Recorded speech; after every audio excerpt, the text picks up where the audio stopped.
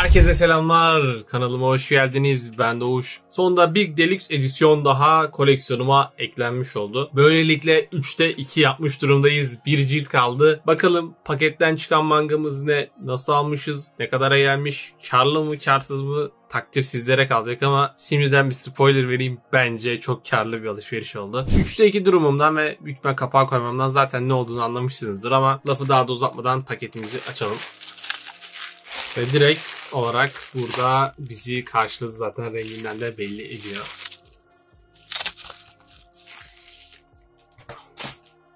Gyo Hardcover Edition. Zaman zaman kendime niye almadım diye kızdığım olan manganın ta kendisi. 265 lira civarındayken bu mangayı bol bol görüp almamış biri olarak kendime çok kızdığım zamanlar oldu açıkçası ama yapacak bir şey yok artık. Enflasyona ve şu anki ekonomi baktığımızda da o zaman 265 lirasından daha da karlı bir şekilde aldığımı söyleyebilirim. Bilmeyenleriniz için söyleyeyim. Bende bu Another'ın Deluxe edisyonu da var. Bunu da alma maceram YouTube kanalımda mevcut tabii ki. Dileyenler bakabilir. O biraz daha içerik yapmam sonucu denk geliş alımı oldu ama iyi oldu açıkçası. Buna da biraz vesile oldu. Bunun biraz detaylarına bakalım. Bunun incelemesi veya ön bakışımsı tarzı o videonun içerisinde var zaten. Dileyenler bakabilir. Şimdi öncelikle ben bunu dolaptan aldım. Tamamıyla bir şans alımı ve ben alırken bir tane sahafta olaya müdahale olup o da almaya çalışıyordu ama kardeşiniz tabii ki müsaade etmez direkt olayı çözdü aldı bitti. Sahaflar varsa orada bilin ki o ürün ucuzdur. Sahaf olduğunu nasıl anlıyorsunuz derseniz benim biraz geçmişte olan birikimimden, deneyimimden kaynaklı sahaf olduğunu biliyorum. Hem o kullanıcıyı da bildiğimden kaynaklı biraz da. Yani şömizimiz bu şekilde.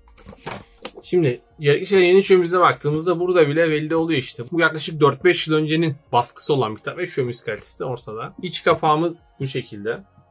Manga alırken temiz diye görerek aldım. Bir detaylı incelememizi de yapalım. Kendisi elinde diğerinin de olduğunu ve o yüzden okumadığını belirtmiş. Ve cidden okunmamış gibi gayet temiz bir kondisyonda. Şuradan da 2019 Mayıs'ta basıldığını gördük. Pratikte baktığınızda normalinden hiçbir fark yok. Sadece kalın kapaklı olması yeterli oluyor. Kaldığı bir Uzumaki kitabımız. Uzumaki'yi de tamamlarsak başka zaten Deluxe edisyon yok Türkçe'de. Umarım olur ama yıllardır bekliyoruz olmasını olmuyor. 3'te 2 durumunda devam ediyoruz. Şu an bakalım onu da nasıl bulacağız? Nasıl alacağız? Bunu aldığım gibi alabilecek miyim? Bu arada bunu aldığım fiyatı belirtmedim. Sadece nereden aldığımı söyledim. Dolaptan aldım bunu. Kargo ve hizmet bedeli dahil 1188 TL gibi bir fiyata geldi kendisi. Bu ne ne derseniz etiket fiyatına bakacak olursak 10 tane gerekli şeyler mangasına eş bir fiyatta almış olduk. Ki etikete de vurmadığınızda bir tanesinin %25 indirimli yaptık. 90 liraya geldi. O zaman da 13 manga civarında denk geliyor. 13 tane manga mı bu mu derseniz bence net olarak Gyo'nun daha baskın olduğu cevabı ortaya çıkıyor bence. Bu arada normal fiyatı bu değil tabii ki. Çok daha pahalı fiyatlara ilanlar var. Hem sahaf sitelerinde hem de ikinci el uygulamalarında ama bu fiyata görmüşken kaçırmak istemedim. Sizler ne düşünüyorsunuz? Fiyat uygun mu? Nasıl bir alışveriş olmuş? Yorumlarınızı bekliyorum. Şimdi gelelim serinin fiyat kısmını es geçip serinin aslında deluxe edisyon hak edip hak etmediği kısmına biraz giriş yapmak istiyorum. Bana kalırsa çok da deluxe edisyon prodüksiyonu hak eden bir iş değil. Niye diyecekseniz hikayesel bakımdan zayıf bir iş bana göre. Daha kalitesi var zaten. Uzumaki ve Felix edisyonu var. O hak eden bir iş. Bu varken Tomiye niye olmadı diyenler vardı. Tomiye'nin de ekonomik durumdan kaynaklı gelemeyeceğini söylemişti Enevi gibi gibi birçok şey var. Şu an böyle bir edisyon çıksa en az zaten 1500-2000 lira bandında olur diye düşünüyorum. Belki çok daha fazlası olur. Çünkü bu tarz mangalar 300-400 lira fiyatında satılıyor diye biliyorum. Yanlışım varsa düzeltirim ekrana getiririm. Hikayesi hakkında ekstra bir şey söyleyeyim söylemeyeceğim böyle kısacık 3-4 dakikalık bir video olmuş oldu. Koleksiyon güncelleme mahiyetinde bir video oldu. Yakın çekimlere, detaylara geçip videonun sonuna gelmek istiyorum. Videoyu izlediğiniz için teşekkür ediyorum. Eğer videoyu beğendiyseniz beğenmeyi, kanalıma da abone değilseniz abone olursanız sevinirim. Teşekkür eder, iyi günler dilerim.